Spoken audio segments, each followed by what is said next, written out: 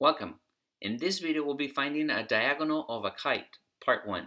Let's take a look at our example. Example.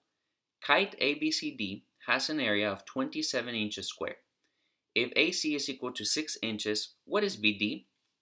Notice that we're given that the area is 27 square inches, and we're also given the length AC is equal to 6 inches. Let's go ahead and identify the length AC here. Notice AC is equal to one of the diagonals of your kite, and that is equal to 6 inches in length. Also, BD, in this case, is the other diagonal of the kite. And since we're given the area, we can relate those uh, quantities, area and the lengths of the diagonals, through the formula area is equal to 1 half times diagonal 1 times diagonal 2. Substituting in what we know, we can get the following equation. We can say, well, instead of area, we can replace that A with the 27 square inches.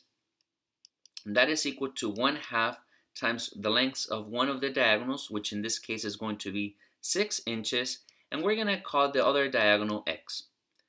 Now notice that the equation becomes 27 square inches is equal to half of 6 inches, which is 3 inches, times x.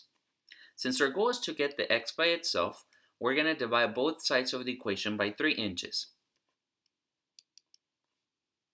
Now, notice that on the left-hand side of the equation, we have 27 divided by 3, which is 9, and inches squared divided by inches, which is inches. And on the right-hand side of the equation, we have 3 inches divided by 3 inches is 1, and 1 times x is simply x. So we can say that the other diagonal has a length of 9 inches. However, that diagonal has a specific name. In this case, we call it BD when it came to its length. So we can say the length BD is equal to 9 inches. And that's how we can find a diagonal of a kite. Thank you for watching and have a wonderful day.